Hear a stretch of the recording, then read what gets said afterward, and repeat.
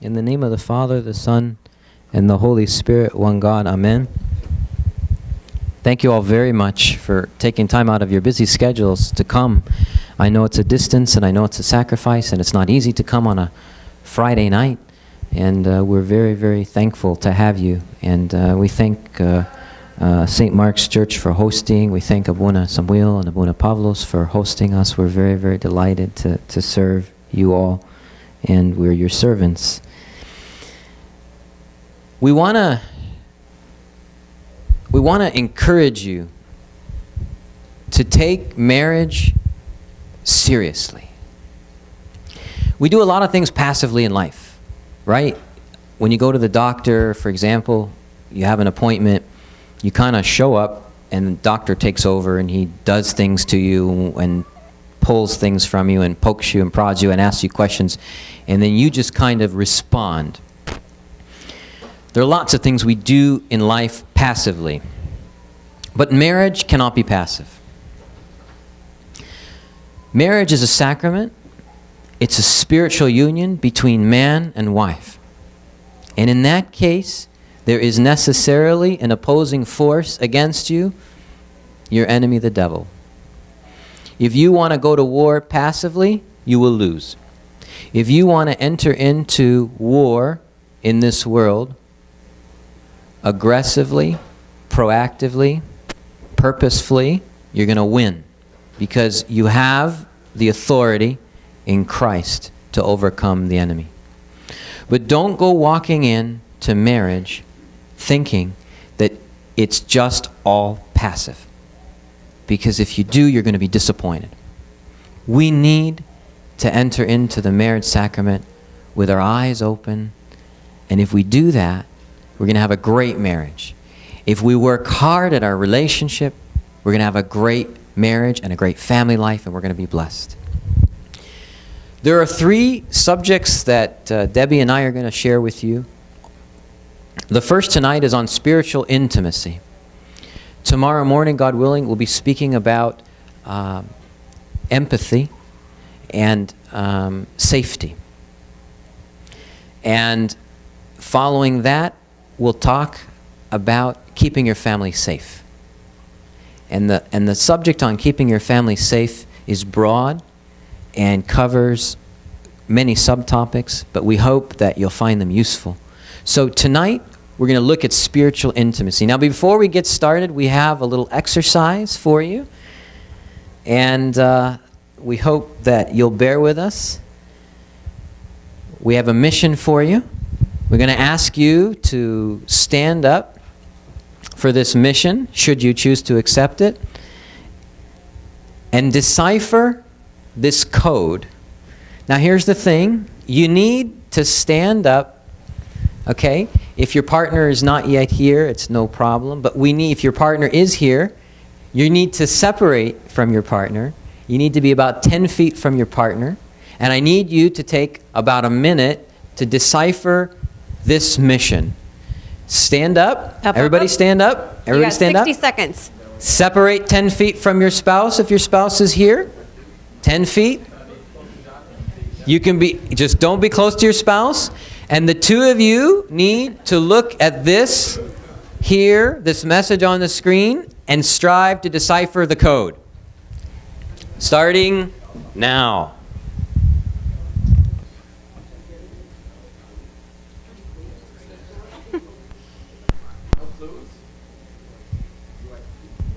Just, this is your mission. Have at it.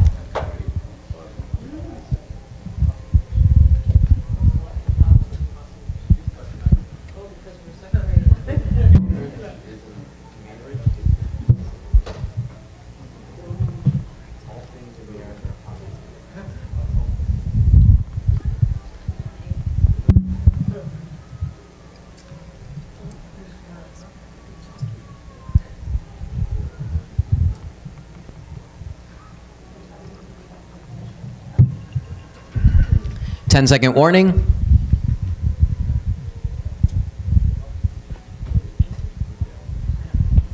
Five second warning. Time's up. All right. Sit back down. Be sure to get back with your uh, spouse.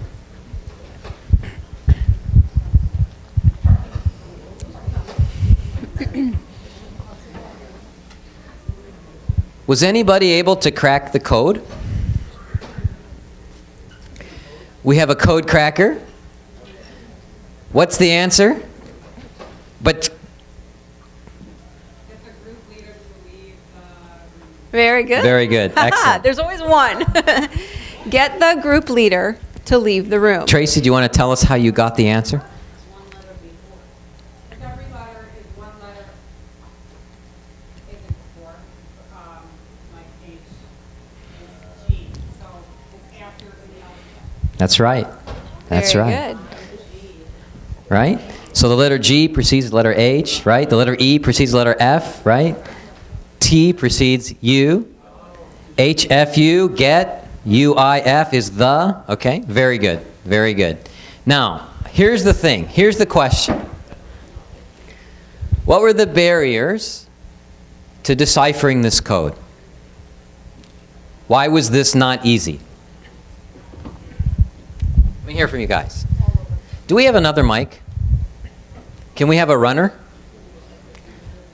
I need a mic volunteer, a runner volunteer who will run the mic. You mind? Yeah, you can use this one for now. Here we go. Thank you. So, can I get a volunteer? What to name a barrier? What was a barrier to deciphering the code? I want to move. Maggie, behind you. It just looked unfamiliar. It was unfamiliar. Very good. What else?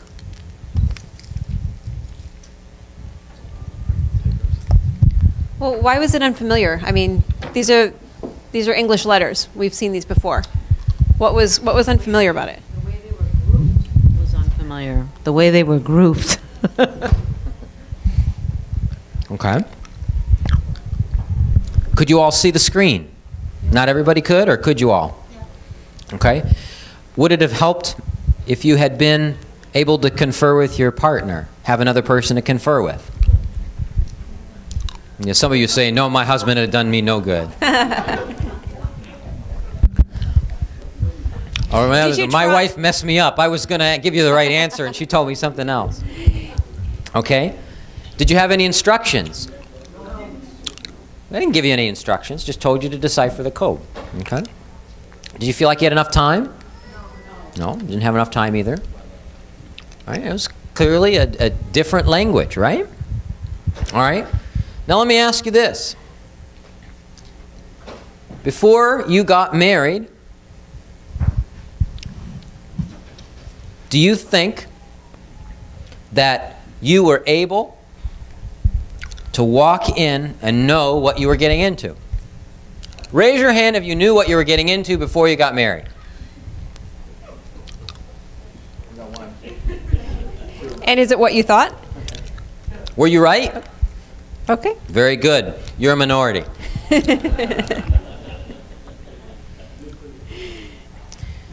Because you didn't have instructions, right? Not or maybe much. you did, Not much. Right? And when you speak to your spouse, different language, ah, sometimes I can honestly tell you I don't understand my wife. And sometimes she can attest to the fact that she doesn't understand me. That's true enough.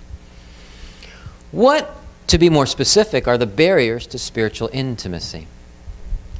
Well, should we back up? What's spiritual intimacy? Yeah, let's define it. What do you what do you guys think? What what is what does it mean spiritual intimacy?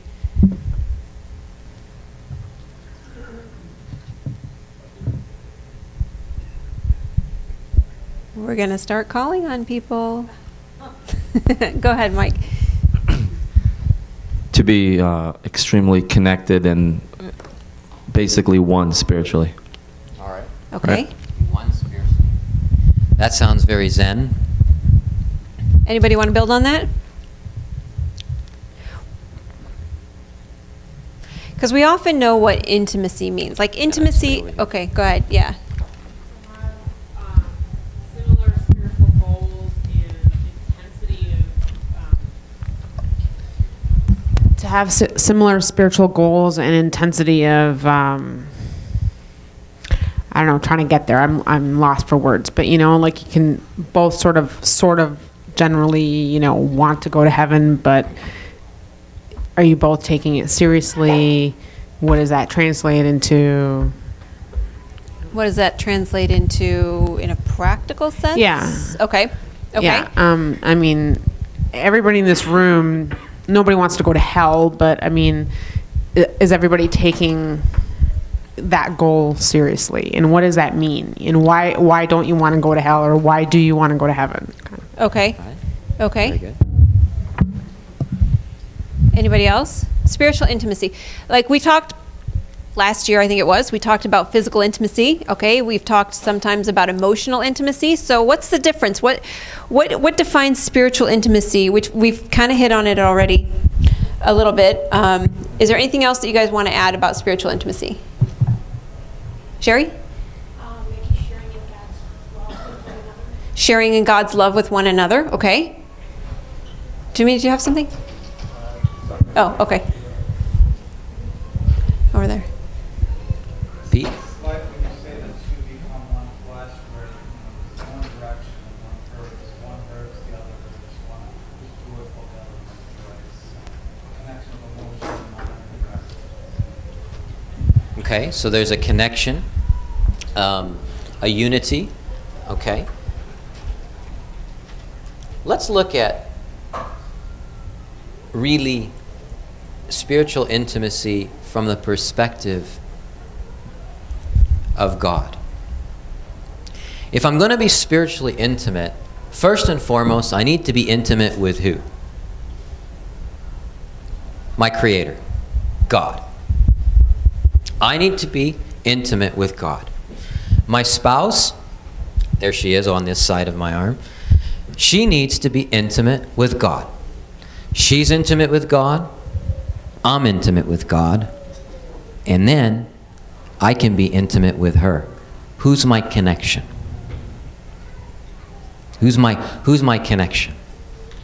I don't have a board. Wish I could. God is my connection, right? God is at the top. And if I could connect three dots, I'd connect her to God and me to God, and I would see that God is the connection. I have spiritual intimacy when she's connected to God and I'm connected to God. And when the two of us are made one in the sacrament of, sacrament of marriage. Now, I also need intentional spiritual intimacy, not just default spiritual intimacy, right?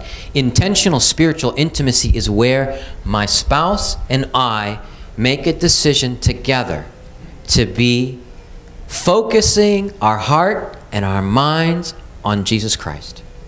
We're focusing our hearts and our minds on Jesus Christ. Together. As a Doing couple, as a family. We've made a decision. We're going to be intentional about it. And we're going to be headed in the direction of God. Right? Now, if you assume that is our definition of spiritual intimacy, tell me what do you think, very practically, are the barriers that we experience on a daily basis to achieving spiritual intimacy?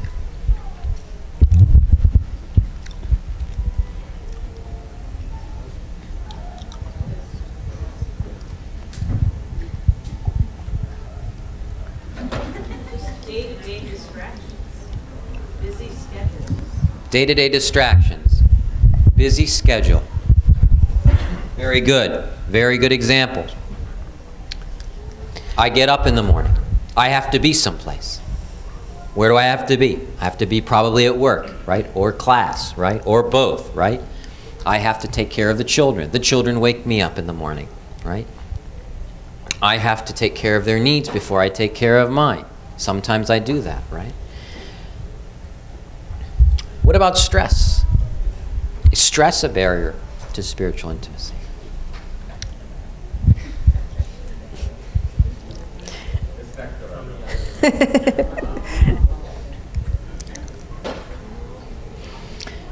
So, you see, we have barriers to spiritual intimacy on an hourly basis, right? If we don't recognize what those barriers are, we might not be able to effectively overcome them. Also, some of the spiritual barriers, or some of the barriers that we have to our intimacy, are, are barriers that we cannot see. Sometimes we have attacks from our enemy, the devil, which is a real present danger in our marriage.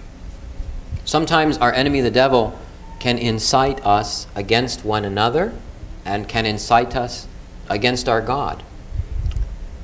He doesn't hesitate to bring temptations into our lives, right? That is a barrier to spiritual intimacy. The devil will attack either my connection with God or my spouse's connection with God or our connection with one another. That's where the devil strikes. So if we go back to the icebreaker, okay, the icebreaker, we actually had to do this exercise at a retreat once too, and we actually found it pretty annoying because we felt like the same as you guys did. We felt like you, you're not giving us instructions. We don't know what to do. You just put this thing in front of us and tell us, go, figure it out, right?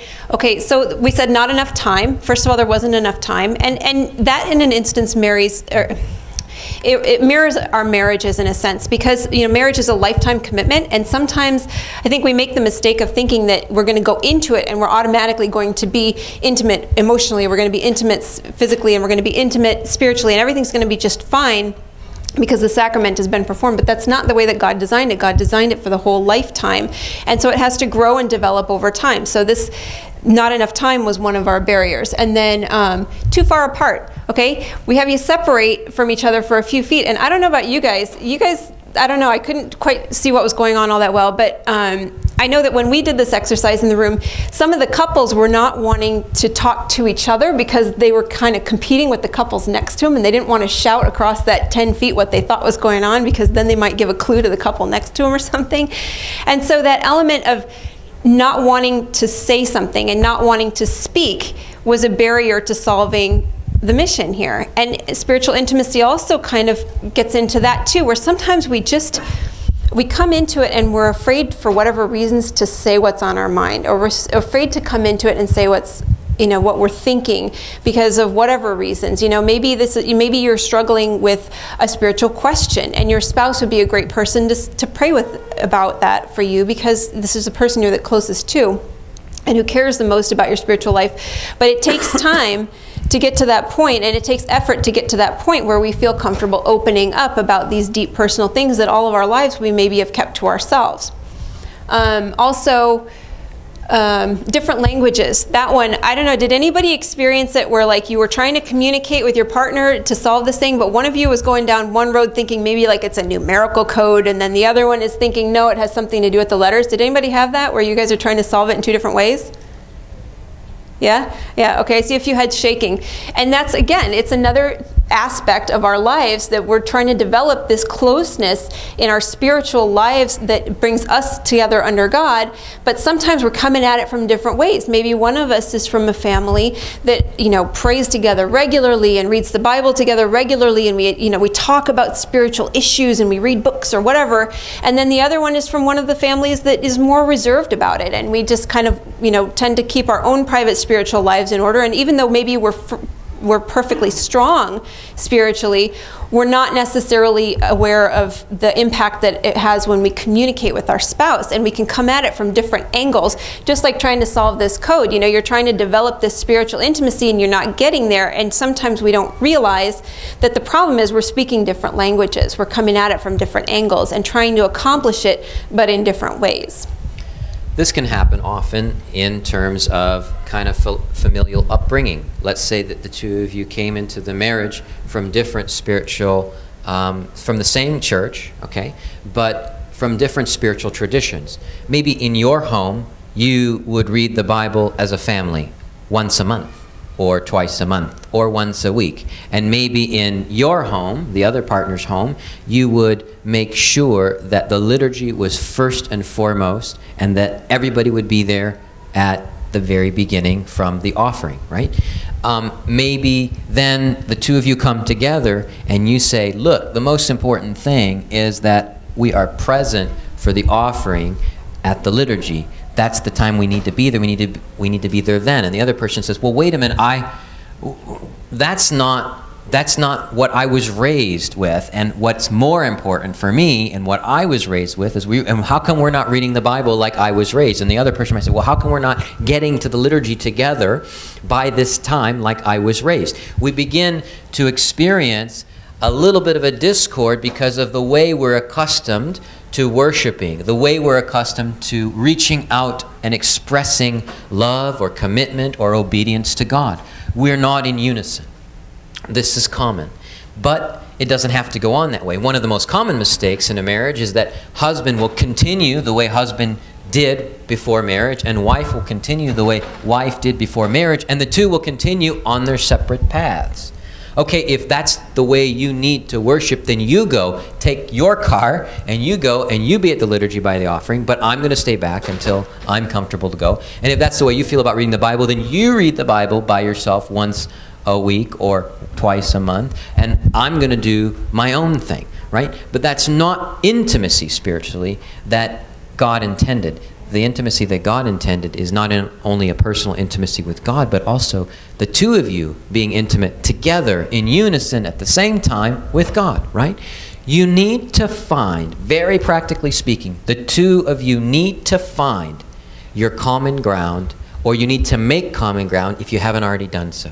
You need to create new traditions. You need to decide for yourselves as husband and wife what you're going to do to become intimate spiritually, worshiping God together in unison. Right? One of the worst things you can do, men or wives, is leave your partner behind. And that is the lesson of the movie Fireproof, and it is a counseling principle 101. Never leave your partner behind. Just as a firefighter who enters into a burning fire enters with his partner, he always has his eyes on his partner. No firefighter ever go fighter ever goes into a burning fire unwatched or alone. Everybody's accounted for at all times. Now, what is something that we tend to do? We tend to leave our partner behind because we think we're doing something good for God. For example, I decide that I'm going to serve as a deacon and I'm going to be there, you know, at 8:15 or 8 or 7:30 sharp every Sunday, right? That's good. I'm glad.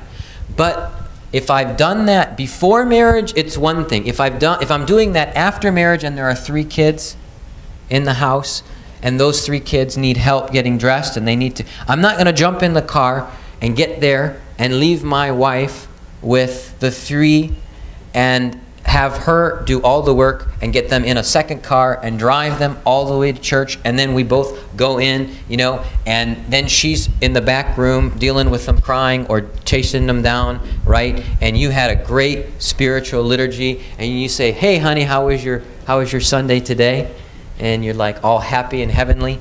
And she's like feeling like she wants to pull her hair out. And she says, I don't think I had a very worshipful experience today. I basically fed the kids in the morning, got them dressed all by myself, got them in the car, took them out of the car, got them to the liturgy, chased them around, tried to take care of them, and you were up there by yourself. Right? That's one example of leaving your partner behind. Another example of leaving your partner behind is basically sitting in front of the computer for two, three hours a day. When your wife needs you, what are you doing? You're sitting in front of the computer two or three hours a day serving God. You are reading Bible verses, reading articles, studying up on new hymns, you're, whatever it is you're doing, fill in the blank, right? But while you're doing that, Again, your wife is doing stuff for the house, wishing you were helping her, wishing you were with her, wishing you were involving her, but she's not involved. And you think to yourself, she wouldn't be interested anyway.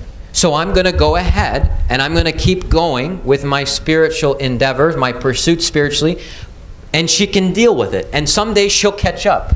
I'll just pray for her. Someday she'll catch up. But she won't catch up. She won't catch up because you left her behind. And just to be fair, it can go both ways too. You know, we can have the opposite scenario where the wife is serving and serving, serving whatever, you know, you name it, uh, Sunday school or, you know, cooking for the church on Sunday or um, attending lots of meetings or helping out with the preschool classes or whatever, you know, and, and we've seen this too before where, you know, the wife is serving and serving and serving and the husband is saying, you know what, I love it that you're doing this. This is all really good. It's really important, this work that you're doing, but, but I need some time too. And that's, I think, the whole point of that part of this discussion is that none of these things in and of themselves are bad, but when they're taking away from the time that you and your spouse need to be spending developing your spiritual lives together, going before God together as a couple and growing together in Christ, if your if your activities as an individual are taking away from that time, then that's where we have a problem, and that's one of the barriers to spiritual intimacy. Listen, there are times when people, women would say to me, Abuna, he does this, this, and this. Or, or a husband would say, Abuna, she does this, this, and this, and this. She comes home after church at 3 or 4 o'clock. I'm tired, I'm hungry, this is my day off, and I feel all alone.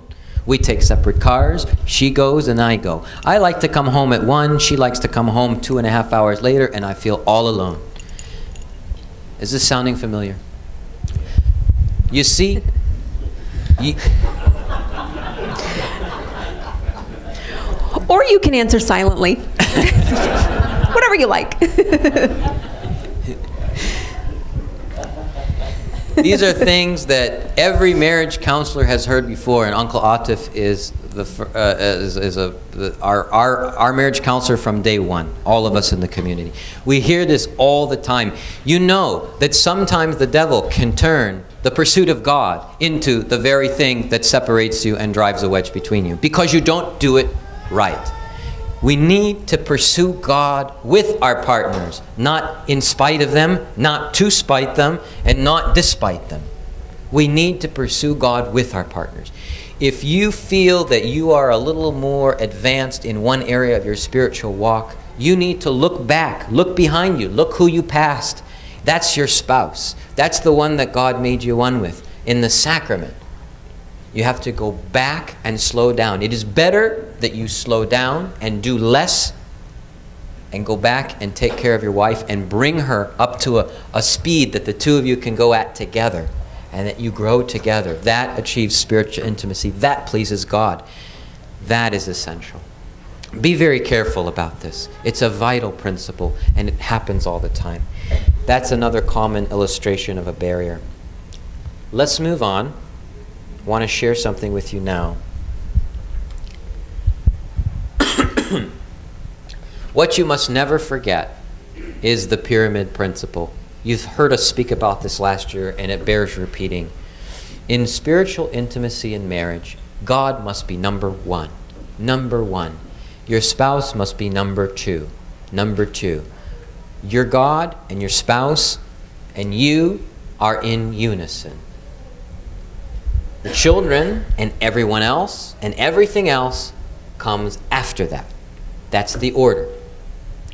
Another impediment to spiritual intimacy can be children, because sometimes we find that we can accidentally begin to put the children's needs ahead of our husband's needs or ahead of God's expectations from us, and we get out of balance, out of whack.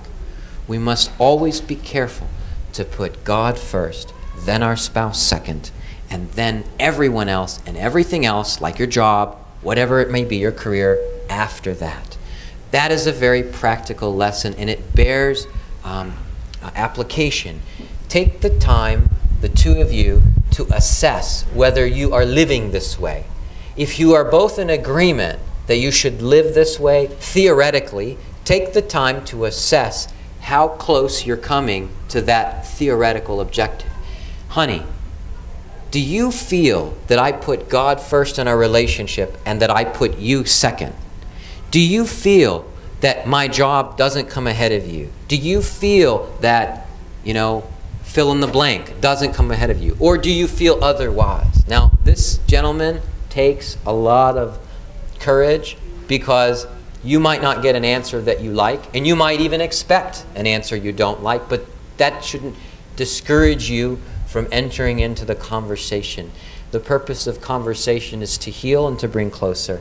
And sometimes when you try to do that, it, it's a little wounding, But after those expressions of emotion are vetted, you will find that you can get closer and you can really achieve intimacy. Any thoughts on why we're saying that God should be number one and spouse should be number two and not the other way around? Like, does that sound consistent from what you thought going into marriage? Don't you think you're going to be the first person or first thing in this person's whole life, your, their first priority, even if we kind of know God is supposed to be first? But are we really expecting that, or are we expecting that they're going to put us first? What do you guys think? I think it goes back to um, the marriage has to include God as that common bond. So if God isn't first, there's no common bond between you and them through God. So it, it's not. But you could be like the same personality. You could have all the same interests. You could be the best of friends. You could like you could come from similar backgrounds. You could have tons of things in common, and you could have lots of common ground. But why does God have to be first? Um, I think it goes back, maybe it com- comes to like your purpose. If your purpose is to please God and to build a church in your house, then God has to be first. Um, another way to look at it, practical way to look at it, is it's more of a guarantee that if God is first, you know that nothing can separate you because Thanks. that's a common bond. Yeah, that's what I was looking for. I was once told by somebody before I married him that he was going to um, always love God before he loved me. And, you know, coming from a background where I wasn't necessarily raised in a Christian home and I was kind of, you know, new to Christianity in the past five years or so before we got married, it was a little bit shocking to me that he said that, but then he clarified it and he said, I'm going to love God always more than I love you because there are going to be times when I'm going to be unlovable. And if you love God more than you love me, then I know you're not going to leave.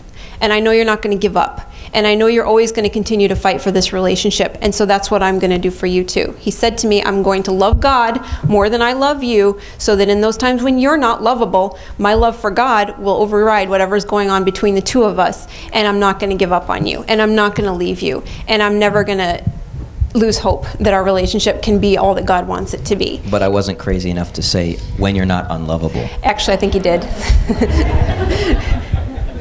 I think you repressed it.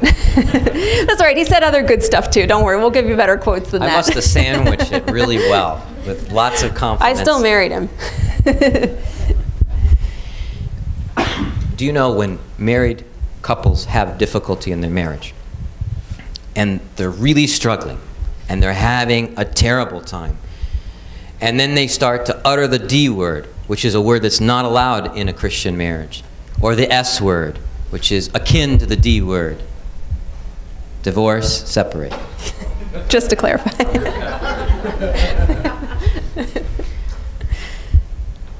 If the couple says, I will never divorce my spouse because of the children, nine times out of ten, the marriage will fail. You think about that, that's pretty powerful. When a couple says, one, one of the spouses say, I will never, ever leave my husband or my wife because of my children, usually the children are not enough to keep a couple together.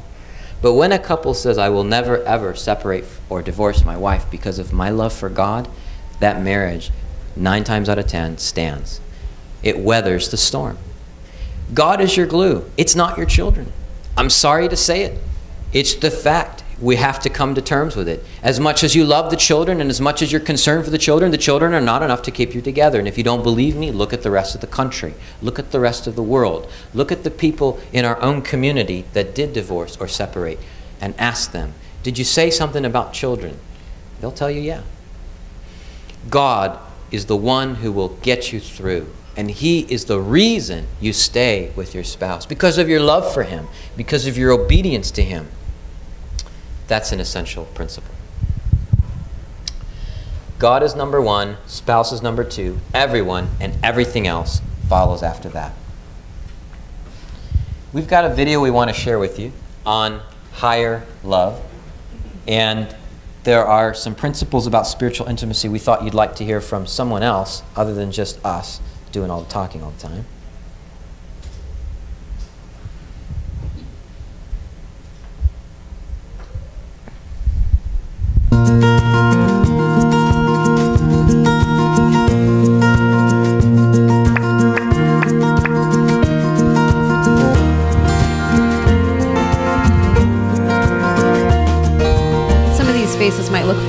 Previous videos. Hello, I'm Dr. Greg Smalley, and welcome to Focus on the Family's Essentials of Marriage series. In this session, we will hear from several speakers Stormie Omartian, best-selling author of The Power of a Praying Wife, Dr. Gary and Barb Rosberg, America's family coaches, Dr. Les and Leslie Parrott, authors of Saving Your Marriage Before It Starts, and Gary Thomas will join us again. They all discuss the value of praying together as a couple.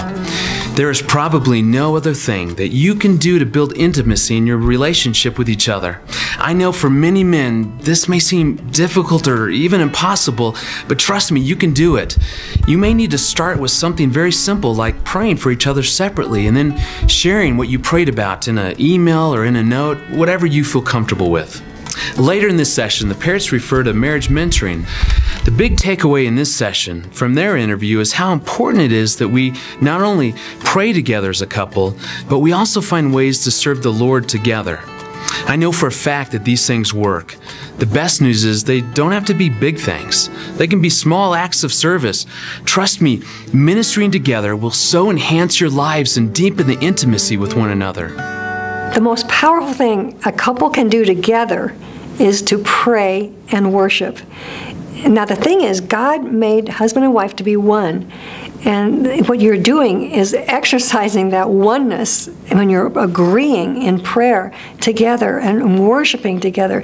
There's a, a dynamic that is, uh, I think it's way underestimated because the power of the two of you praying together is, is beyond what we think it is.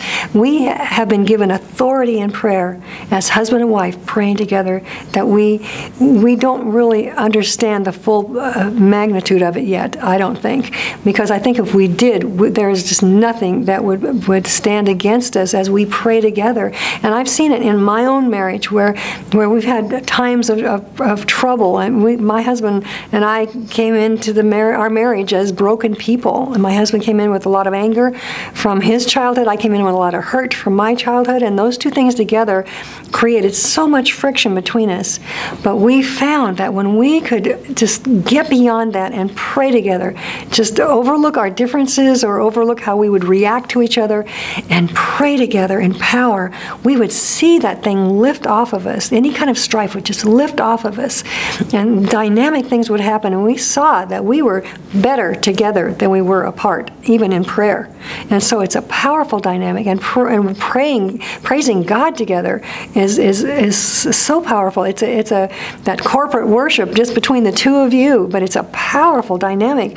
I don't think the enemy can prevail against that in any way because you have opened up your hearts and yourselves to the power of God flowing into your life, and that's it's a power that is greater than anything you face. We want to pause here on this principle. How many of you think it's possible that we could come into a marriage with baggage or wounds? Yeah, it's true. When you get married, you don't come all fixed up. You come with your history. You didn't leave that at home, right? You didn't separate that. You brought it into the relationship, right? Your dreams came with you, but so did your fears, right? Your strengths came with you, but so did your weaknesses. Everything that you were ever concerned about is with you. And every injury that you ever sustained is upon you. Now, I want to ask you all something. How many of you spouses can, can, can really, now this is rhetorical, how many of you spouses can really say, I know the wounds of my spouse? I know what they are.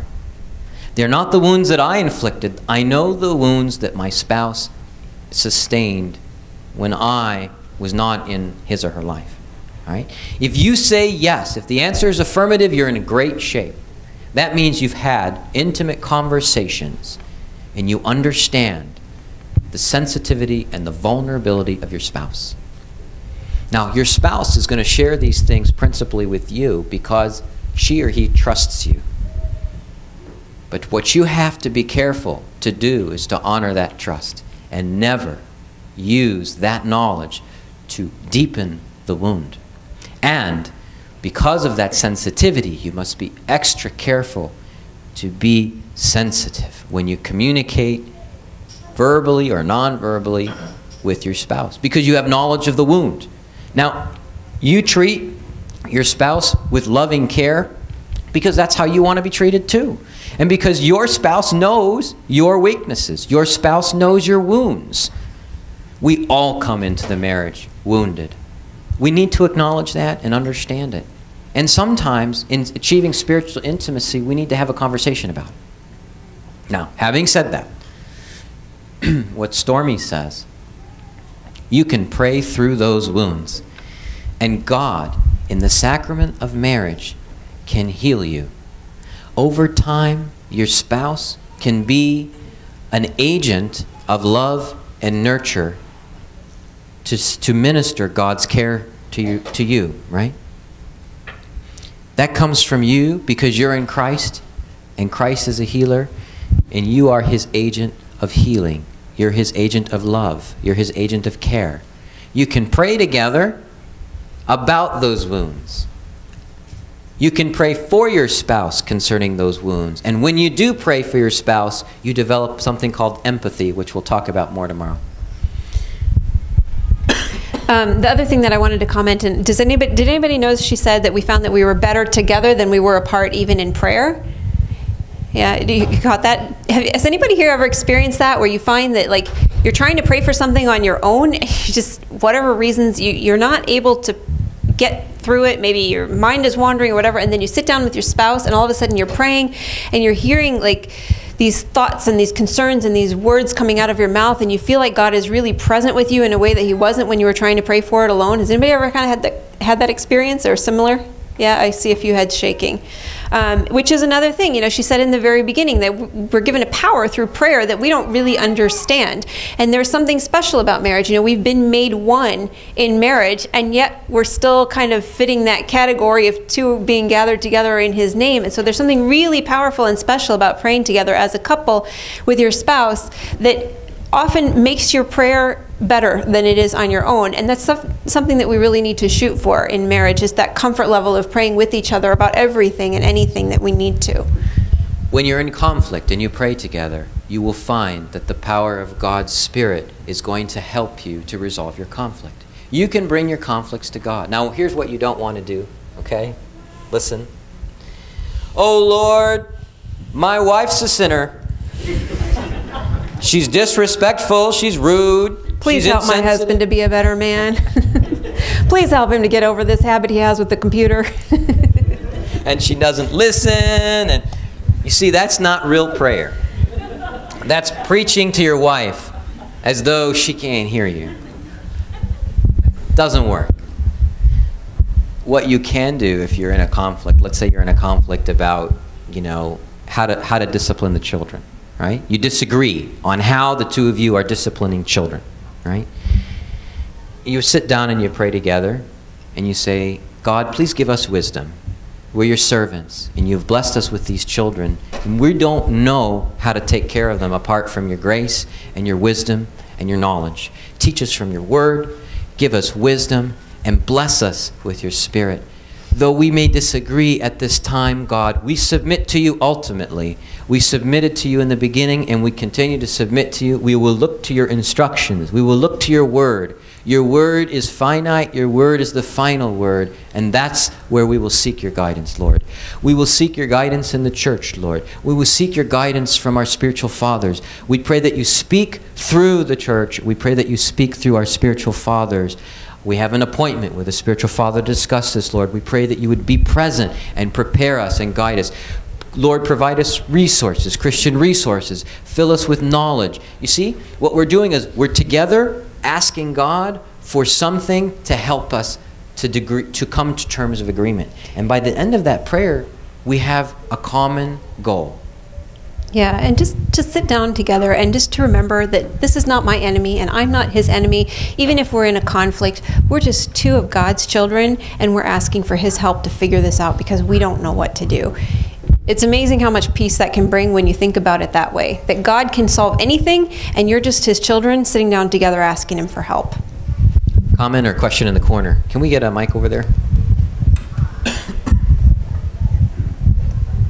I guess, I mean, theoretically, I can understand what you're saying about the importance um, and the power of praying through conflict. But for me personally, I feel like if I'm in conflict, um, I don't want to, like, I feel like prayer is like almost as intimate a thing as physical intimacy. And just as I would not want to be physically intimate with my spouse when I'm when I'm in a conflict, the last thing I want to do is pray with them because it's just as close. You know what I mean? Like I don't know how. Yeah, I hear you, and I don't think that we're saying necessarily right in the middle of a brawl to just right in the middle of a brawl to just um, you know drop everything and pray. Although, although that is you know sometimes the right thing. I don't. I think I don't think we're necessarily saying that's exactly what you have to do, but it, you could wait till it cools down a little bit and you know maybe in that time when you're you're still kind of not feeling resolved but you're cooled down and you're not so angry maybe that's a good time to do it. Or you know like every every every couple kind of knows their limits i think or you learn your limits over time but i think and it's not just conflict either too i think we're also focusing on that but conflict is not the only thing that we're talking about. Sometimes it's a problem that you both agree is a problem and you're not in conflict with it, but you need help. Um, so there are a lot of other scenarios also where we're talking about this too. Yeah. If you pray together in the good times on a regular basis, you're going to find it easier to pray together during the hard times. You didn't pray together in the heat of the, your conflict. In fact, it, if the conflict gets to be too hot, you table that. You reschedule the conversation so as to avoid escalation, and then you come together later. If things cool down between that time and the time you've rescheduled your conversation, that's a good time to pray. Or after your follow up conversation is concluded, that's a good time to pray too. But pray and don't shy away from going to God who brought you together and made you one because you're asking God, you're delivering a concern to the one who provides peace which surpasses all understanding. That's a promise that God gives us, right? Be anxious for nothing, but by prayer and petition, make your requests known to God, and the peace which surpasses all understanding will guard your heart and your mind through Christ Jesus. Philippians chapter 4. This is essential, and it's a promise of God. You get peace. You get peace. At a minimum, you get peace. We're going to go on now to the second segment and share with you a couple of other insights from a, some, a few of our uh, good speakers. You know, praying together. I think one of the main benefits of praying for your spouse is that it creates empathy. I find when I just spend time in the morning putting my wife's day in front of the Lord and I see the challenges she has up ahead, all of the tasks she has to do, what it does is it gives me empathy for her. I'm praying for God's strength, I'm praying for God's wisdom. And it's it really reminds me of the difficulties she faces. So often I find when expectations are weighing a marriage down, we're so aware of our challenges and our stresses and our burdens and completely unaware of what our spouse faces. And prayer, I've just found, is a very effective tool to get me to see the day through my wife's eyes. And I really think, particularly as men, I'd like to challenge them to do it more often. Yeah, I've met men that will bow hunt elk or moose, which, which can be rather dangerous. I mean, it takes a it takes a good degree of guts if you're bow hunting for moose, and yet they're too afraid to pray with their wives. And, and it amazes me. If, I think if they knew what it would do for their wives, I've had in some seminars where I'll just have men pray for their wives, and some wives will come up and say it's the first time their husband has ever prayed for them, and they are just weeping. It means so much for them. And so it's really, prayer is, is a great blessing. You're living this life together. You're inviting God's presence. You're inviting God into the marriage. You're letting God open up your eyes to give you empathy for your spouse. Uh, it's just a great thing to do, and it's completely free.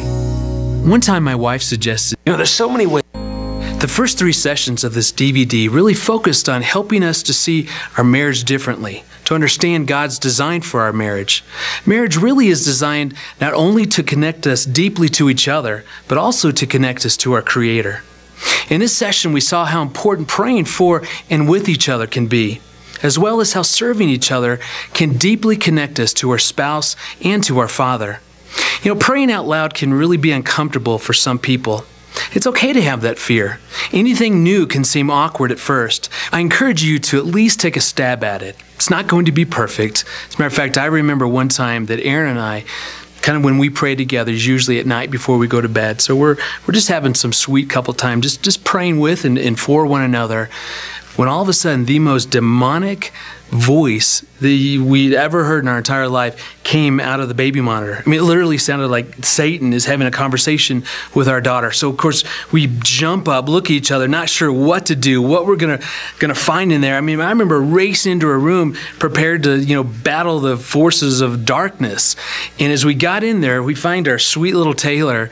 Um, who's sitting in her crib with her little praying bunny. It was this bunny that when you pressed her little arm, she would run through a series of bedtime prayers. So it's supposed to be this neat little praying bunny, but the batteries had worn down. So all you were getting was what sounded like a total demonic voice. And so you're going to get interrupted. Things aren't going to be perfect. It doesn't have to be eloquent or wordy. It can simply be expressing to God how thankful we are to God for each other.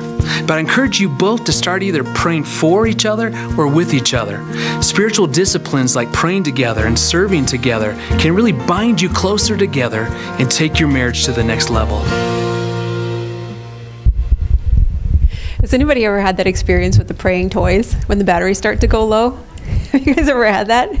this is why I hate those toys because they sound so horrible when the batteries start to go low, but by then the kid is attached to the thing, and God forbid you should take it away until you can get some proper batteries in the thing. They freak out. it's the worst thing ever. Um, so the first speaker, what was his name? Gr- Gary, the first Gary, speaker. Yeah. Gary. One of the things um, he was saying is is talking about sort of starting out his morning praying for his wife and, and laying out her needs before the Lord in the morning, knowing full well the kind of challenges that she faces. That requires a couple of things. First of all, that requires that the couple is communicating and that they kind of know the struggles that you're going through. And that particular example really should go both ways too. Like if a, if a if a husband is praying for his wife's needs, knowing what she's going through the day, the husband should, or the husband should also have the assurance that his wife is doing the same. And I just wanted to emphasize that because sometimes I think when we're in these family conferences, we tend to overemphasize the struggles that women go through, especially if we have kids and we're staying home with them, or, or maybe, um, you know it's just a fact. It's it's even statistically, you know, documented that women still tend to carry the larger burden of the household responsibilities, and it's true, and it needs acknowledgement. But at the same time, we also need to not forget that our husbands are out there facing the giants every day,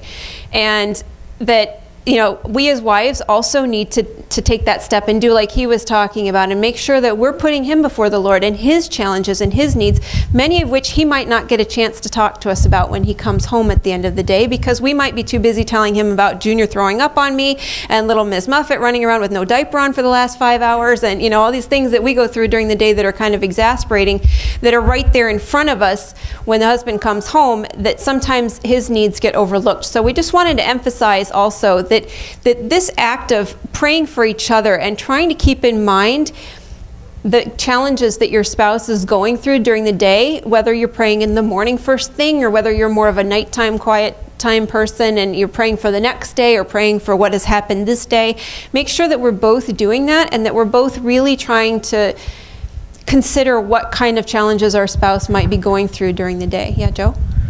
I have a question. Um, so I, I, I obviously agree with and um, you know on board with spiritual in- intimacy. Just want to make sure that in the concept of spiritual intimacy, is there still time, whether it's prayer or service, for you to do stuff on your own? Like, what if you have a a balance that whatever it is for sometimes we pray together maybe that's at night maybe in the morning we pray individually or whatever the setup is uh, same with service we do serve some things together some things we do on our own i mean is that is there i don't know what the ratio is but i mean if you've gotten to the place in your marriage where you got it comfortable with the, that balance is that okay Yeah, yeah. vital. you- Yeah. Yeah, it is vital. I mean, you know, uh, Debbie's not up there on the altar with me, you know, when I'm serving God, right? Right. See, that we all, we all, God has, God has basically expected from us a spiritual intimacy with Him first and foremost, individually. But He wants us also to be doing it collectively. Now, the thing is that what's often neglected is the intimacy between husband and wife on a spiritual level. So we emphasize that here. But we don't do so uh, at the expense of our individual spiritual growth. So we serve God individually, we pray individually. And, and one thing I was just going to suggest if you are at the point where you're not able to pray out loud with your spouse yet, what you might consider doing is praying individually for your spouse and then reporting to your spouse that you prayed for him or her on these specific issues. Honey, I know right now we're going through a, a round of layoffs at work. And every morning you go in there, you're wondering whether you're going to have to come home and tell me that you've been laid off. I want you to know that I understand that that's stressful. And I learned how stressful that is when I prayed for you this morning and yesterday morning and the morning before. I have been praying for you on this issue in particular, and I love you. You tell your spouse that you're praying for them specifically on these specific issues, and you can ask them, How can I pray for you during my quiet time with the Lord? And then that's a, a, a nice step in the direction of praying together as well. Yeah, and you'll see, you'll find definitely that, that the Holy Spirit really gets involved in that. There were so many times when he was a lawyer, and you know, God would put it on my heart when I was praying during the day and he was at work and I was at home with the kids or whatever, you know, just to pray about him, you know, maybe in even a generic sense, you know, like, I don't know, around 11 o'clock today, I just really felt like I wanted to pray for you at work or something and say, no kidding, really, because that's when I was in the middle of this massive argument with somebody about something and, you know, I was looking like I had messed something up and, you know, then it came out later, that, you know, like, and you would see that, like, you know, God had resolved some situation right around then. He said, "You're like that was amazing that you were praying for me right then because I really needed it." And and you know, just to know that you have each other's back, you know. We can pray for each other, and it's such it, it builds intimacy. It builds emotional intimacy. It builds physical intimacy. It builds intimacy on all dimensions in our lives when we pray for each other and let each other know how much we love each other in that sense. Now, to get specific here before we take our break how, how can we be spiritually intimate specifically? One, we've spoken about prayer, right? We've spoken about prayer. What does the Bible say about prayer? 1 Thessalonians 5:17, never stop praying.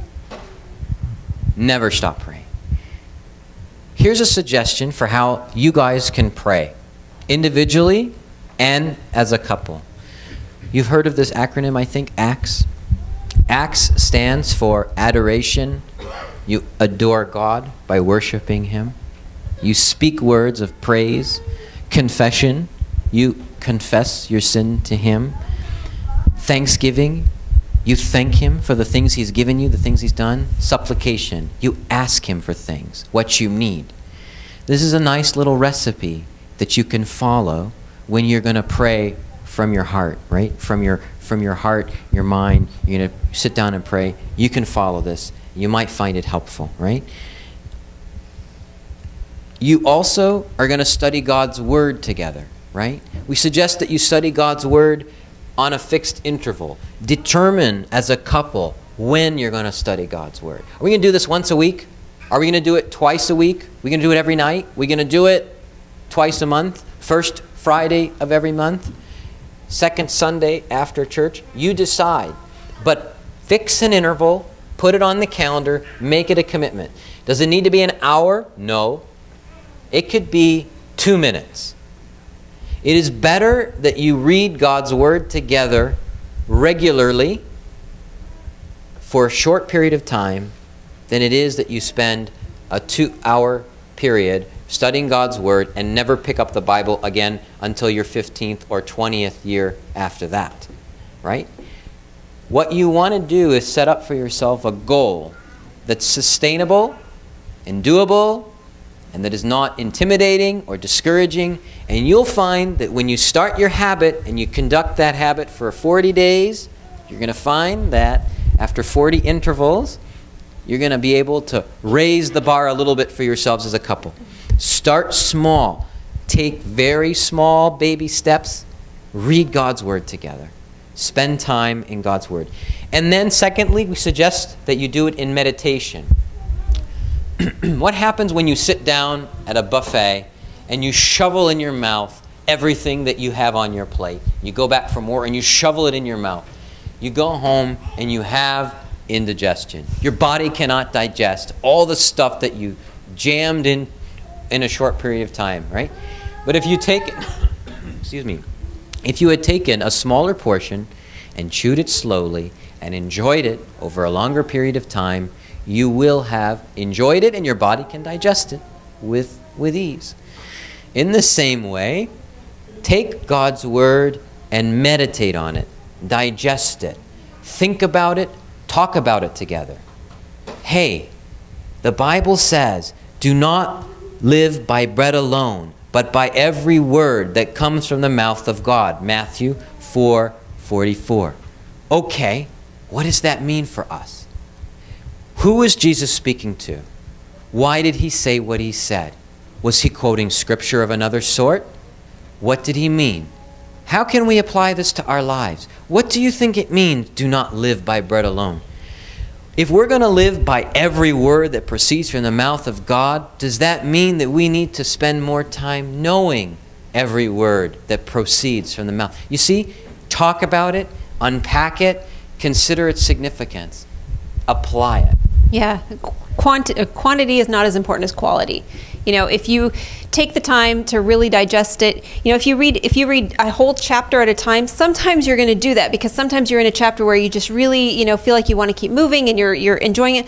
Other times, sometimes you get hung up on one or two sentences and you say, "Oh my gosh, I never really thought about it that way."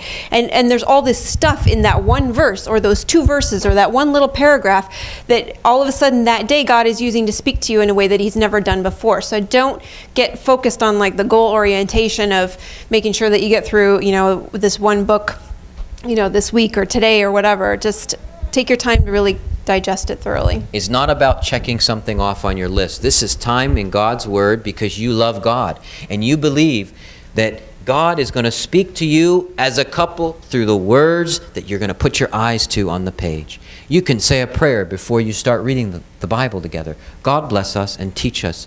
Teach us what you want us to apply and learn from your word tonight, or this morning, or today, whatever the case may be. And you get into it and you read it together and you enjoy it and you think about it. You're going to feel so blessed and you're going to feel richer with knowledge and you're going to feel closer emotionally when that time period is over. And it doesn't need to be long and it doesn't need to be a lot of verses. We spent a little bit of time right now together on Matthew 4 44. And that little amount of time is going to be a greater blessing than no time. I promise you that. Thirdly, oh, before we get on to thirdly, this is an encouragement from 2 Timothy 3.16. All scripture is inspired by God. In other words, what's my motivation? Why do I read God's word? All right? St. Paul was speaking to Timothy, a young bishop. St. Timothy was to convey and teach his people, the people that he was looking over. He's saying, Look, teach the people that all scripture is inspired by God. It's God breathed. It's useful. It's teaching us what is true. It helps us to realize what is wrong in our lives. It corrects us when we're wrong. It teaches us to do what is right. That's why we read the scriptures, because we want to know when we're wrong. It teaches us to do what is right. Listen, if we don't read the Bible and know what it says, we're prone, we're, we're, we're, we're destined to listen to society. And society is shaped by media, and media comes from Hollywood, and those people are totally lost. They don't know their left hand from their right hand. I don't know what Tom Cruise is worshiping or doing today, and I don't know how Brad Pitt came to Angelina Jolie, and then I, I don't know what they they are teaching the, the country in their acting and in their platitudes in the media, and we follow them. And Oprah and Oprahisms and all the people the Oprah hosts are teaching the world about what's right and what's wrong. But if we don't know how to compare all that stuff to God's Word, we're bound to follow the crowd. We need to know what's wrong in our lives. We need to know what we need to do right. And that's what 2 Timothy is teaching us, and that's why we read God's Word. Three, we serve God together. We mentioned this. We can serve God creatively with the gifts that He's given us. He gave us spiritual gifts. Why don't we use those gifts? I'm not saying that every one of you needs to be dressing as a deacon or a Sunday school teacher. Husband, deacon, wife, Sunday school teacher. Go to it. Everybody. Then we all have a bunch of deacons and all have a bunch of Sunday school teachers, and that's all we do. And we're all going to have, it's like a body with six arms. We, uh, we don't need that. No. If we needed that, God would have made you all incredible deacons and incredible Sunday school teachers. But that's not what God wants. God wants you to look within you and see the gifts that He gave you when you were born, the gifts that He designed in you, like a designer, a creator, an inventor. I am going to work on Joe. I'm going to give him the gift of this and the gift of that, and he's going to be, I'm going to work on Marie and the gift of this and the gift of that. And he does that. That's what he's got in you. Well, think about what you enjoy doing in your life. Think about what you love to do. And then turn to your husband and say, honey, I love to bake. Honey, I love to build things. I, lo- I, liked, I like wood. What can I do for God? Since I love, I've built all this stuff in our house, but I don't feel like I'm using this, this love and this passion for God. And He gave it to me. How can I use it? Think about it. Talk about it. That's how you get creative ministries in your church that are sustainable ministries. That's how you make an impact. Listen, we have people in churches everywhere that are doing amazing things, not because Abuna said, hey, I want you to go take all of your pets to the neighborhood elderly place and show those pets to the elderly there. And then, you know, we don't, we don't do that.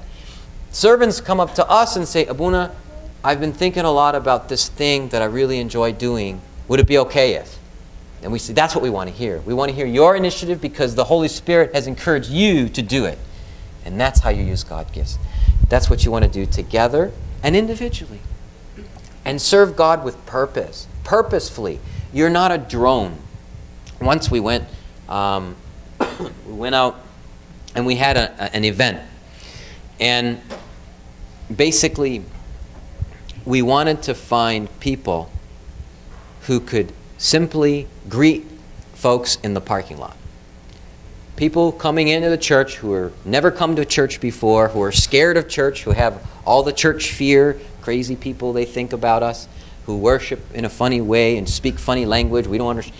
We wanted greeters in the parking lot to just smile and say, "You can park here." And when you get out of the car, you can walk over here. Welcome. Right?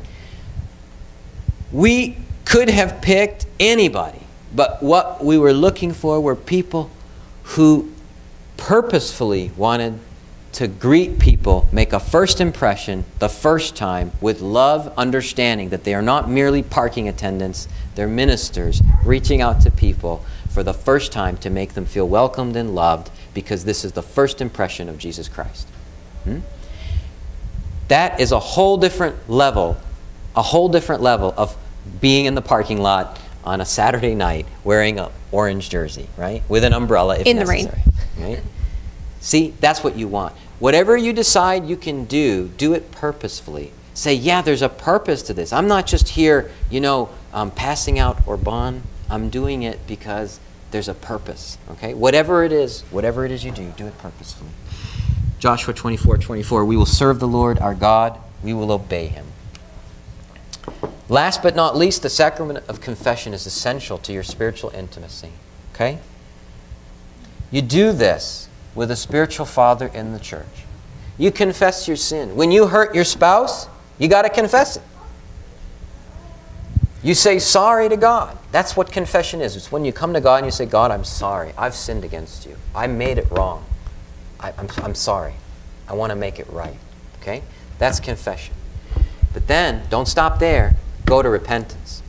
Repentance is where you make it right. So, if I did something wrong and I say sorry to God, I'm good, but I have to make it right. That means I go over to the person that I hurt and I apologize to that person as well, not just to God. Right? So if I hurt my spouse, I go to my spouse. After I confess to God, I say, I'm sorry for what I did and I want to make it right. Right? If I took something that didn't belong to me, how do I make it right? I give it back. Right? If I misstated something, how do I make it right? I restate it. Right? Okay? Whatever it is, we repent. When we repent, we're strengthened. And then we won't do it again. Or we'll be less inclined to do it again. Some of us fall short and we only say sorry to God. And then we have difficulty. We come back and confess the same thing again and again and again, and we wonder why. Part of the, the, the blessing of repentance is it stings a little bit to repent, but when you do it, you, re, you appreciate the implications of what you've done. It teaches us humility. It teaches us how to be vulnerable. When you learn that humility and that vulnerability in the sacrament of confession, you, you practice it in your marriage because there are times you have to say, I messed up, honey, right? I messed up. I'm really sorry. I'm sorry for how it made you feel. We'll, we'll talk about, we'll review the forgiveness exercise maybe tomorrow. And sometimes with vulnerability, it's also not about sin. Sometimes it's about fears or anxieties or worries or dreams that we have. And sometimes we feel afraid to go to our spouse with that kind of stuff because it's very intimate, that's very vulnerable, that's exposing a part of ourselves, and we don't know how they're going to accept it.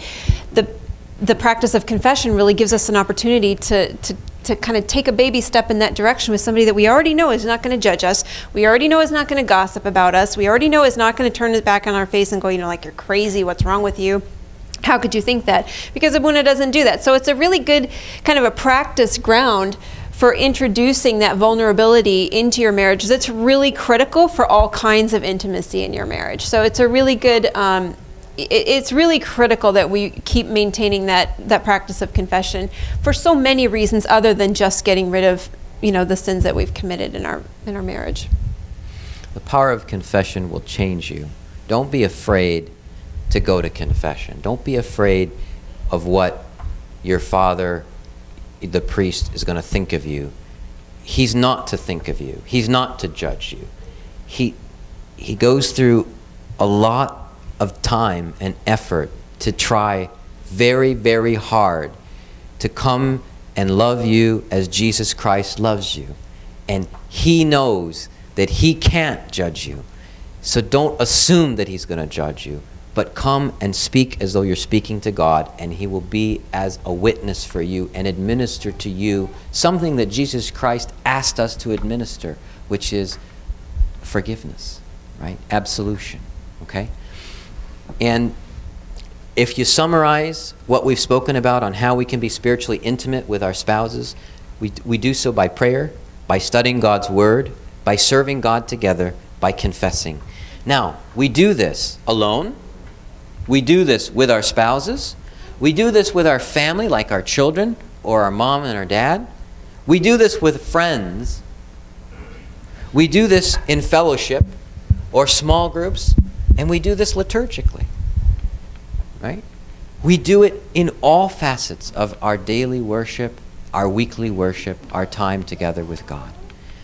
This is the beauty of your Orthodox faith. It's something that we do on a regular basis. Spiritual intimacy is a blessing that God gives us. It's something we want to work hard towards. Just want to uh, close in a, in a song and then do a couple of exercises before we wrap up the night. I hope you'll enjoy this.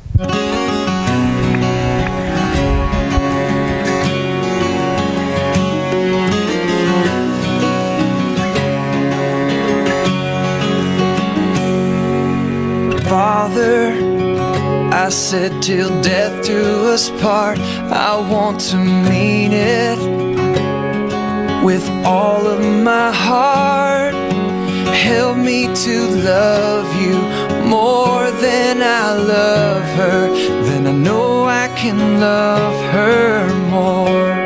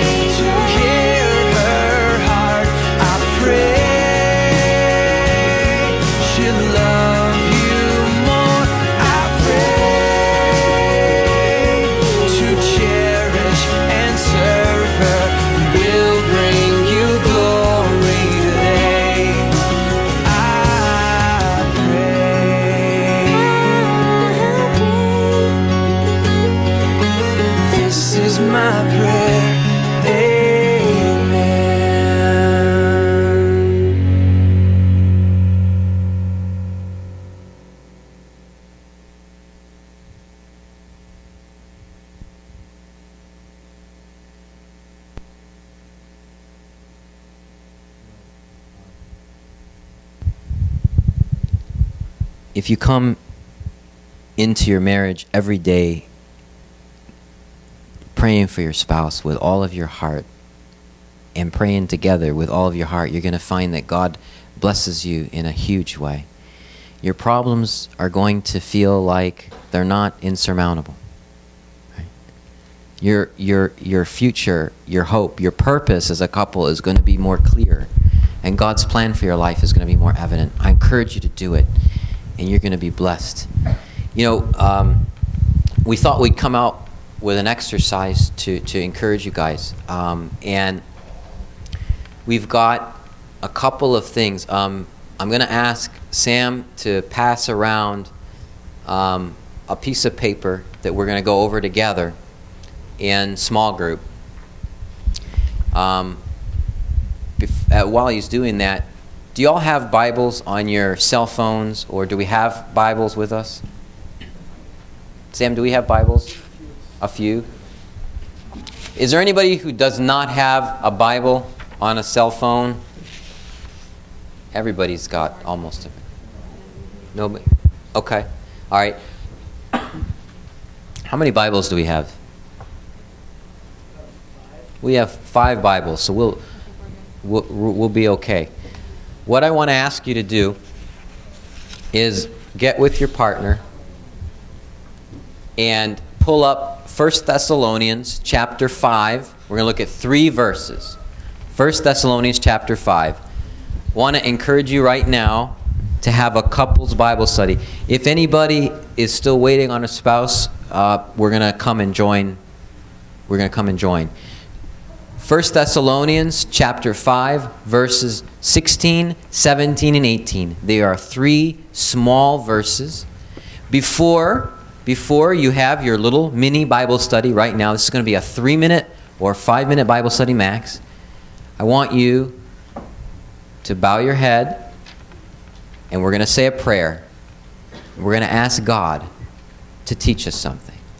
In the name of the Father, the Son, and the Holy Spirit, one God, amen. Dear God, we're your servants. We love you. We ask that you would bless us and teach us from your word on these words in verses 16, 17, and 18 so that we'll be blessed by you. Help us, give us wisdom, and teach us to apply your words. Amen. In the name of the Father, the Son, and the Holy Spirit. That's the kind of verse you can pray together before you start reading. Now I'm going to ask each of you to sit down and look at these verses together in 1 Thessalonians chapter 5 verses 16 all the way to 18. Read them out loud together. Talk about them. The last question that you ask each other should be so, how can we apply this?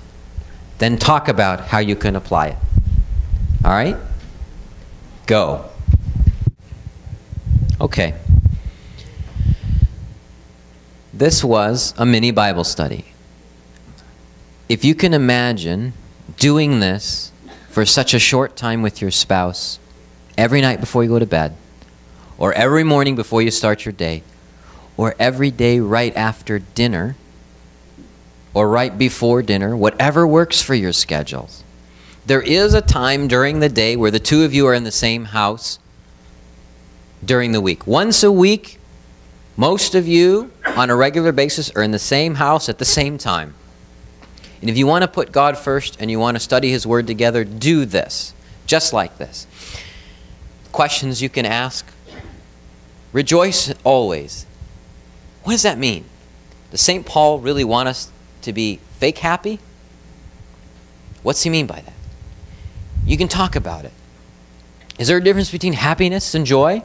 How come he doesn't say be happy always? What's the difference between happiness and rejoicing, right? These are conversations you can have. Well, I think happiness is like kind of something that's more temporary, but rejoicing can be something that's more enduring, right? Well, then he says pray without ceasing. How do I do that? How do you do it? I don't I don't do it. Well, I don't do it either, but how, how should you talk about it, right?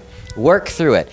Ask yourself the obvious questions, ask yourselves the tough questions. In everything, give thanks. Hey, are we thankful enough? When we pray, do we thank God for the little things that we take for granted? our health, our drinking water, all those things. Talk about just like that. And you'll find that God will bless you. These are instructions from God and His Holy Spirit. When we talk about them, they're reinforced in our minds and our hearts and our daily lives. And then when I go to work, I not only remember what God taught me individually, I also I also remember what you know what my wife and I spoke. And you know what one of the neatest things is when you're connected to God and your spouse is connected to God, sometimes God can speak to you through your spouse. And that's pretty cool. Sometimes you'll miss something or you'll hear something from your spouse that really resonates from you and answers a prayer. Why? Because you took the time to come together in Christ's name. Where did Jesus say, Where two or more are gathered in my name, there am I. So you're coming together with your spouse, and then you hear God's voice spoken through your spouse. Sometimes that's a real, real blessing. So I encourage you guys to do this on a regular basis. Now, we are intent on finishing on time. I want to have you take a look at the piece of paper that we circulated. In the interest of time, we won't actually break up into small groups, but let's just take some time to read these questions out loud together, and we'll run through them.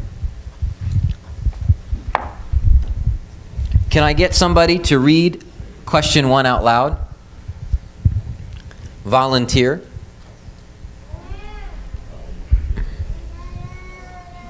Under finding yourself. Sure, you right. volunteering? Okay. What's your spouse's response when, what's your spouse's response when you hear that spouses, spouses should pay together?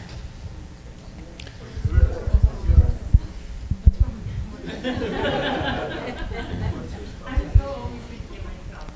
So what's your response when you hear that spouses should pay together, Sarah Sam?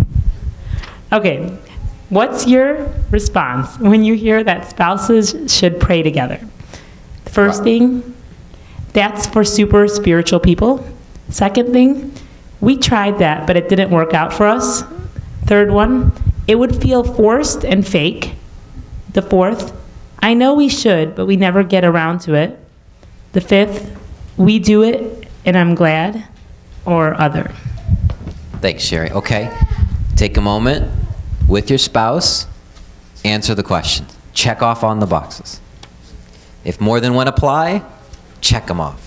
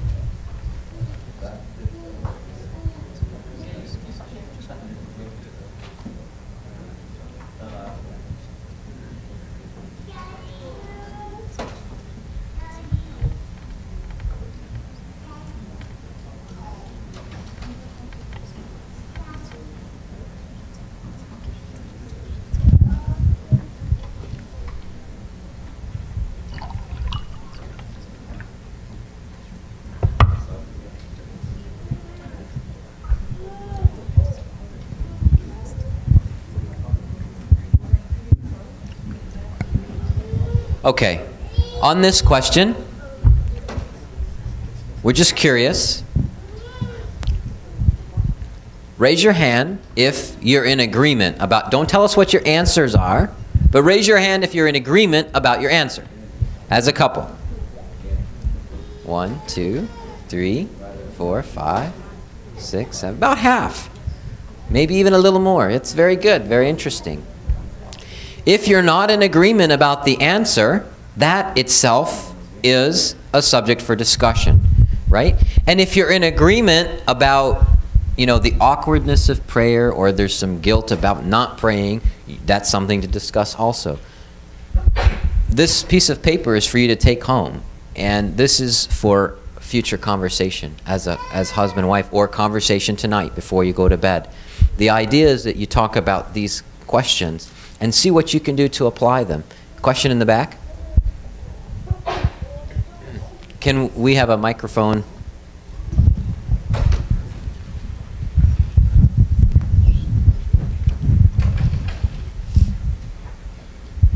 So I kind of wanted to sneak this answer in before Mariana walks in, but she did too late. uh -huh. so, so, I mean, I guess my answer to the first question is um, yes, we pray together. Mariana loves it, and boy, when I wanna, when I, if I wanna buy something or get something approved, yeah, we pray together because she makes her very happy.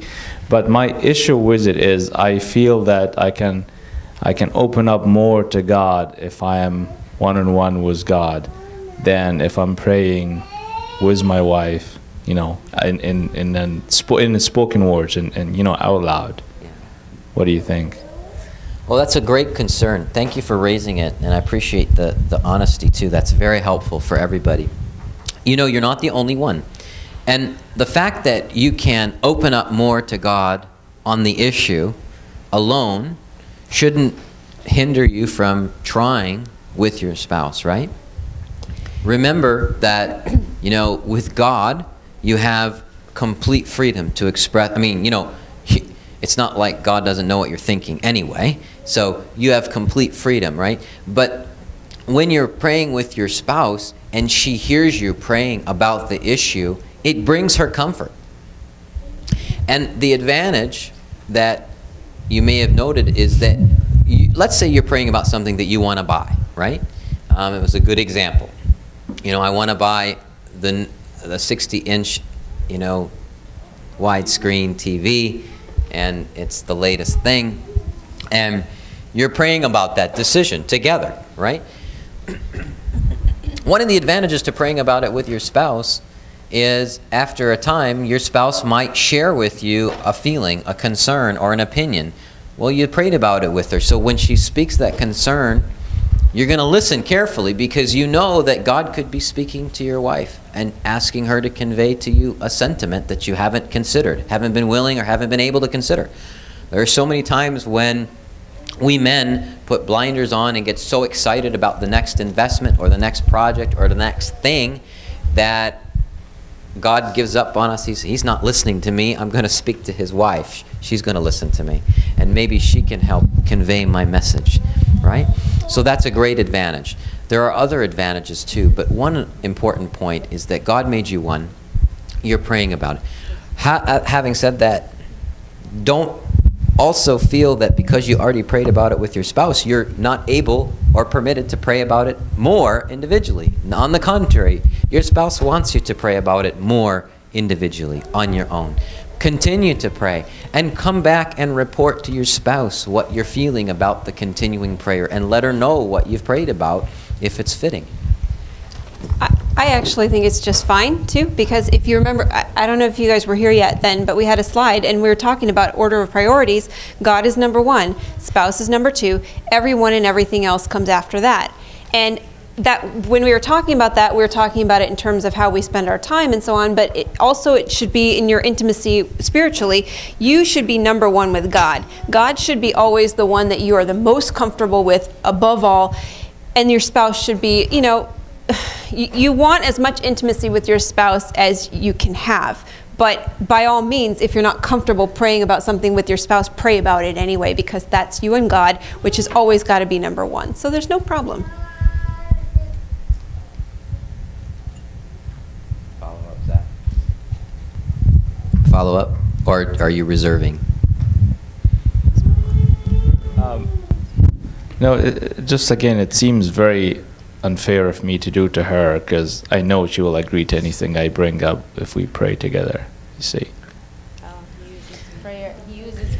Public confession, Zach, was. Uh, Public confession was good back in the old days. That, that was. No, that's uh, very admirable. I really, that's terrific. That's uh, yeah. Thanks. So what you're saying is you use prayer to manipulate your wife. Is that what you're trying to say? I don't think so. I, I, I got I got no. I don't think that's at all. All right, next question. Next question. Just move me to pick a question. Let's look at let's look at number two and then skip to number four for time. Who can we ask to read number two, please? Volunteers to read number two. Maggie. If you and your spouse got involved in a service project, what would you What would you want it to be? Why?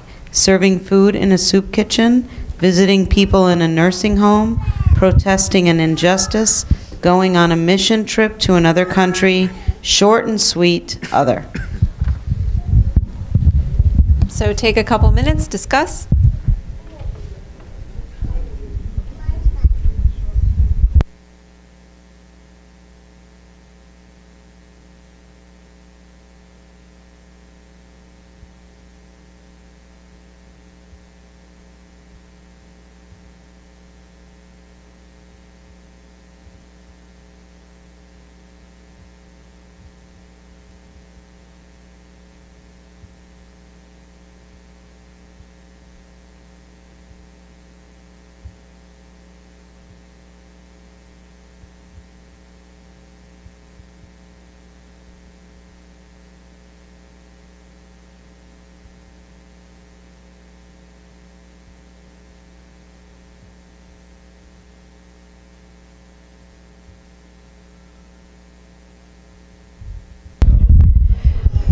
Okay, so same question as before. Um, anybody, well, we'll flip it around this time. Anybody disagree between the two of you on what would be your ideal mission? Your, okay? Couple hands. All right. Anybody surprised at what your spouse chose that you never, you know, any of those moments of like, hey, I never thought you'd want to do that? Anybody? Okay, no surprises. All right, that's good. So again, you know, in the whole topic of spiritual intimacy, this question is just sort of highlighting, you know, there are ways that our spirituality is going to manifest itself as we're serving God individually or together. And this one, if it was going to be a project that we were going to be doing together, it should be something that we can ideally agree on. It might not be my ideal project, it might be more your ideal project, but as long as I'm willing to go out there and go with you and experience this and give it a try, or vice versa. Or it could be something that we're totally unified on and we both are fully invested in this mission, on this um, service project. Either way, whatever. As long as it's something that is a tool to help us bring our, ourselves closer to God and closer to each other at, at the same time. Okay. Um, and the last one I think we'll do for tonight is number four. Can somebody please read that for us?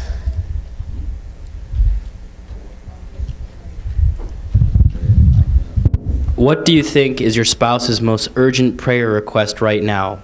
If you can't answer this question, how do you feel about that?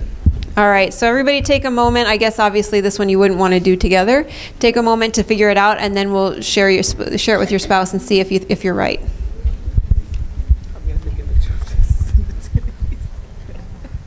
I actually answered for my husband. That's how well I know him. You listening to on eavesdrop? No.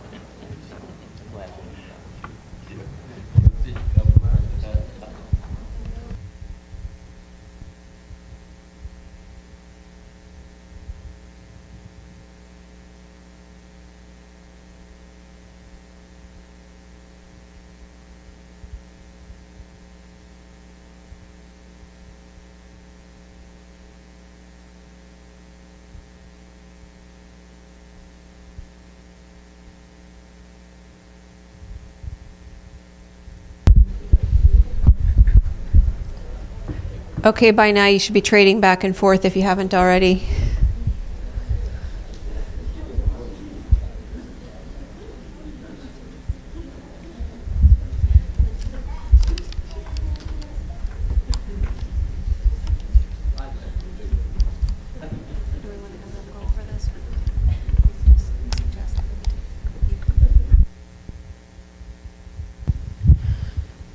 So this question is designed to make you think, right? Wow, I wonder if I know what my wife or my husband's most urgent spiritual need is right now. And if I don't know, is it because I haven't been attuned, or is it because he or she hasn't been comfortable to share it, or a combination of the two? That's the purpose of the question. Ask, discuss, think about that. You want to make yourself readily open and available to your spouse. And you want to be able to pray for your spouse. And if your spouse is shy or unwilling to tell you, you need to understand why that is. right? There are some things, of course, that as husband and wife you're going to reserve and say, look, this is something I'm, I need to pray about individually, just me and God for a while. You know, that's okay. That's no problem. But the concern comes when there's something I wish you knew. There's something I wish I could tell you. Or there's something I have been telling you over and over and over again and you keep missing. Then you want to be able to visit that in conversation.